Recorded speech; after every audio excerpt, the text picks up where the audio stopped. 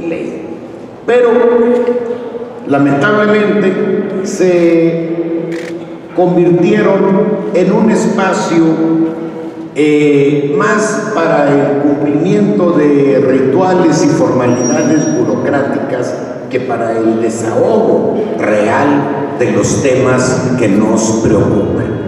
Y el objetivo es, por un lado, cumplir con la legalidad, porque estamos obligados a convocarlas, pero por el otro es desburocratizarlas y que estos espacios sirvan para abordar con apertura, con flexibilidad, con tolerancia, con el mejor ánimo, todos los temas que son motivo de la responsabilidad de ustedes que nos acompañan el día de hoy.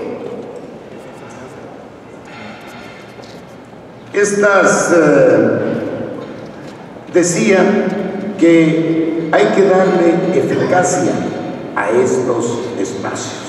Decía José Ángel Ávila, titular del órgano de penales, órganos de reinserción social, que todos conocen la problemática que hay en las cárceles pero también igualmente todos los secretarios de seguridad conocen la problemática de, de inseguridad que hay en cada uno de los espacios territoriales que les corresponde atender.